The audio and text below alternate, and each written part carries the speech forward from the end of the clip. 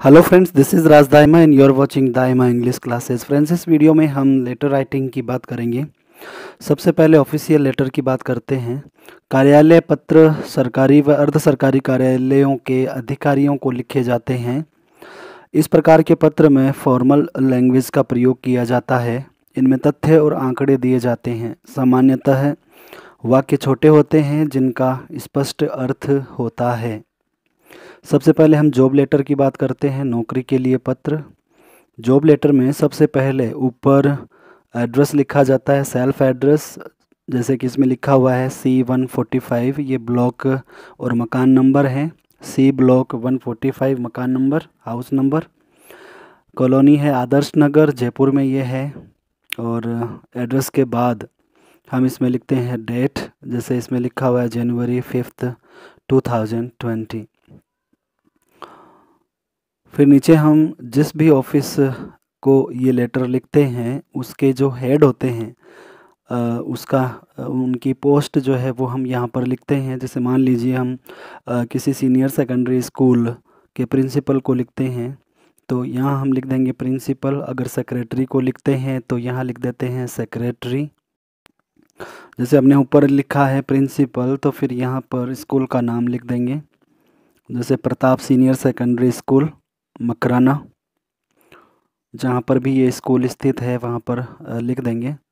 नीचे सब्जेक्ट लिखेंगे application for the post of और यहाँ पोस्ट लिख देंगे। मान लीजिए आप टीचर इंग्लिश टीचर के लिए जॉब चाहते हैं तो आप यहाँ पर लिख देंगे post of an English teacher letter के हर पार्ट्स के नंबर होते हैं अलग अलग यहाँ बॉडी में हम लिखेंगे I would like to bring to your kind attention I would like to का मतलब होता है कि मैं वुड लाइक like की जगह आप वॉन्ट का प्रयोग भी कर सकते हैं I want to bring to I would like would like का मतलब होता है वॉन्ट दोनों में से किसी भी एक वर्ड का प्रयोग आप यहाँ पर कर सकते हैं।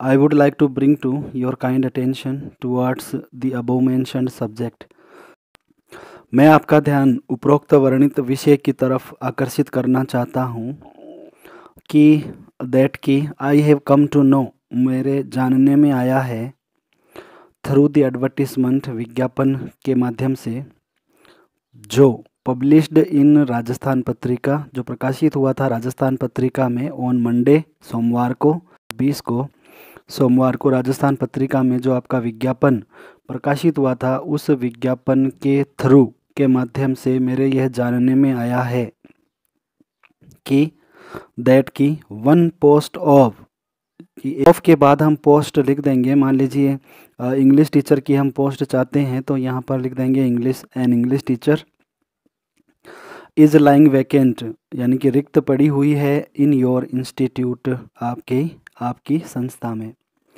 I offer my candidature my qualification मेरी क्वालिफ़िकेशन एज रिगार्डेड जैसे कि मांगी गई है इज़ मैंशनड बिलो बायोडाटा यहाँ नीचे बायोडाटा लिखा हुआ है, उसमें वर्णित है।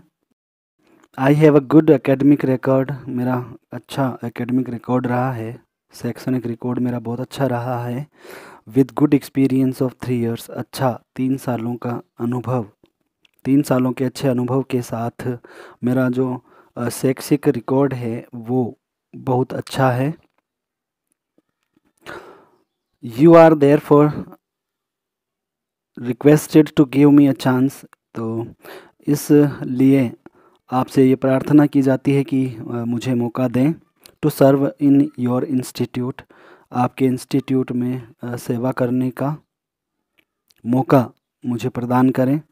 एंड आई अश्योर यू और मैं आपको आश्वस्त करता हूँ, आश्वासन दिलाता हूँ कि I will do my best मैं अपना सर्वोत्तम प्रयास करूँगा। I will do my best I shall ever be grateful to you मैं इस कार्य के लिए आपका हमेशा आभारी रहूँगा। I shall ever be grateful to you for this act of kindness इस भले कार्य के लिए मैं आपका हमेशा हमेशा आभारी रहूँगा। थैंकिंग यू धन्यवाद स धन्यवाद विद रिगार्ड्स स सम्मान योर्स सिंसियरली यहाँ पर हम नाम लिख देंगे जो भी नाम आपको क्वेश्चन में दिया जाता है। नीचे रेशियो में हम लिखेंगे बायोडाटा भी इसको आ, कह सकते हैं। सबसे पहले अपना नेम फिर नीचे फादर का नाम पापा का नाम पिता का नाम डेट ऑफ़ बर्थ यहाँ लिख देंगे, अपना एड्रेस लिख देंगे क्वालिफ़िकेशन आपकी जो क्वालिफ़िकेशन है वो लिख देंगे। B A B Ed M A B Ed जो भी आपकी B S C B Ed M S C B Ed जो भी आपकी क्वालिफ़िकेशन हो वो यहाँ पर हम लिख देंगे। वर्क एक्सपीरियंस आपको कितने साल का कार्य का अनुभव है? आपने ऊपर लिखा था थ्री इयर्स का तो ये थ्री इयर्स का कार्य का अनुभव आपको यहाँ लिखना है थ्री इयर्स इंटरेस्ट आपका किन किन चीज़ों में है? जैसे आपकी हॉबी क्या है? तो वो यहाँ पर हम लिख देंगे। आपको सिंगिंग में इंटरेस्ट है डांसिंग में है राइटिंग में है रीडिंग में है किसमें है वो यहाँ पर लिख देंगे। सेल फ़ोन नंबर यहाँ पर लिख देंगे अपना और नीचे ईमेल एड्रेस लिख देंगे। तो ये आ, लेटर था जॉब के लिए। नेक्स्ट हम बात करते हैं शिकायती पत्र की। फॉर कंप्लेंट्स शिकायत के लिए पत्र कैसे लिखा जाता है? जनरली हम शिकायत करते हैं इन सैनिटरी कंडीशन की, यानी कि गली मोहल्ले में जो गंदगी होती है, उसकी शिकायत करते हैं। Ban the use of loudspeaker loudspeaker का उपयोग जो है उसको प्रतिबंध करने की शिकायत प्रतिबंध करने के लिए हम शिकायत करते हैं। Lack of school facilities school में अगर सुविधाओं की कमी है तो वाटर इलेक्ट्रिसिटी प्रॉब्लम अगर पानी और बिजली की प्रॉब्लम होती है तो हम शिकायत करते हैं। जनरली इन्हीं टॉपिक्स पर हम शिकायत करते हैं और भी बहुत सारी शिकायतें हो सकती हैं। हम यहाँ देखेंगे कि किस तरह से शिकायती पत्र जो है वो लिखा जाता है। सबसे पहले हम इसमें एड्रेस लिखते हैं C one forty five Adarsh Nagar, Makrana January fifth two thousand twenty फिर यहाँ पर हम लिख देंगे नीचे जिस भी ऑफ़िस को हम लिख रहे हैं, उस ऑफ़िस को लिखेंगे। सबसे पहले उनकी पोस्ट लिखेंगे हेड की। जैसे मान लीजिए हम नगर पालिका के चेयरमैन को लिख रहे हैं तो यहाँ पोस्ट लिख देंगे द चेयरमैन, डिपार्टमेंट हम लिख देंगे म्यूनिसिपल कॉरपोरेशन और जगह लिख देंगे मकराना। फिर इसमें हम सब्जेक्ट लिखेंगे। सब्जेक्ट अगर आप, जो भी आपकी समस्या है, उसमें फोर लगा करके आप लिख सकते हैं। मान लीजिए इनसेनेटरी कंडीशन अगर आपकी समस्या है, गंदगी की हालत है मोहल्ले में तो आप लिखेंगे फॉर इनसैनिटरी कंडीशन अगर हम बैन करवाना चाहते हैं यूज़ ऑफ़ लाउड स्पीकर को तो लिख देंगे for ban the use of loudspeaker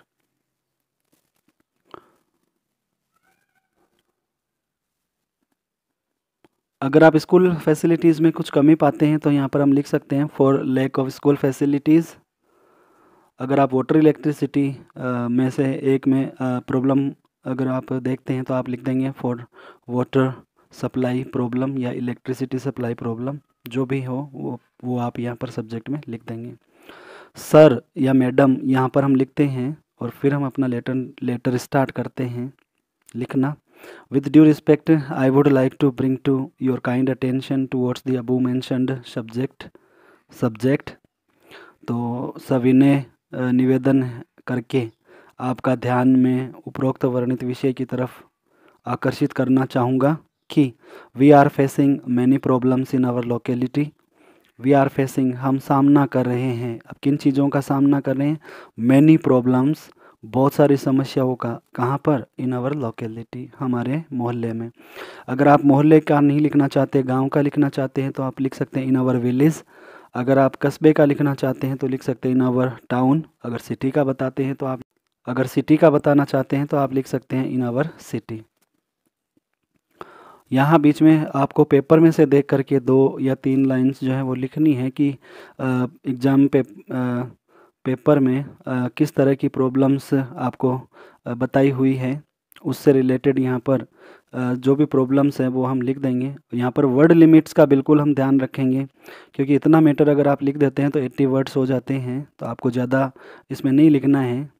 Three four sentences are enough अगर आप यहाँ पर तीन या चार सेंटेंसेस लिख देंगे तो ये काफ़ी है। दो समस्याएँ लिख देते हैं और दो समाधान, उनको सुझाव या हानियाँ या जो भी आपको प्रॉफिट हैं इफ़ेक्ट क्या पड़ हुआ है उस प्रॉब्लम का या फिर क्या रिज़ल्ट निकला है, इससे रिलेटेड आप दो या तीन सेंटेंस यहाँ पर लिख सकते हैं।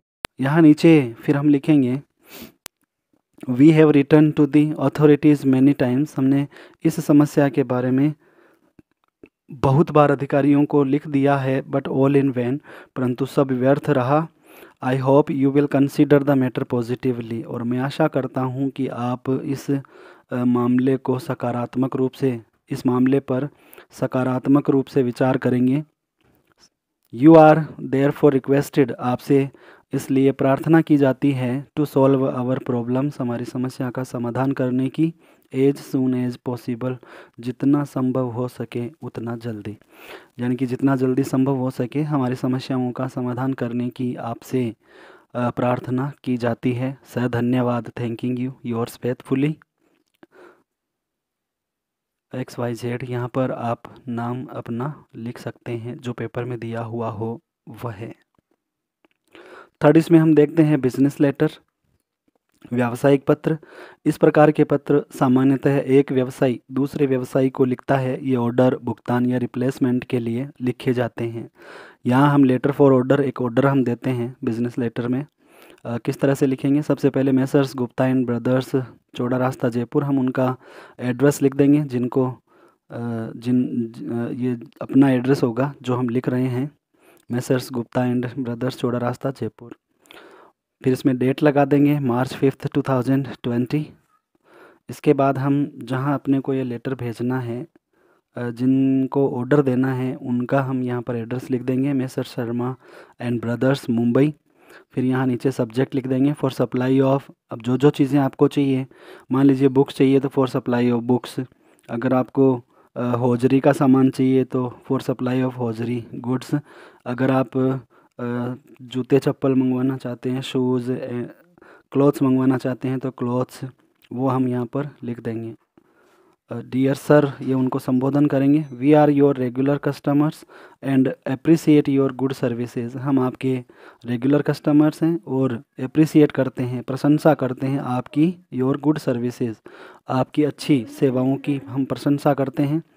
Please supply the things enlisted below please supply कीजिए।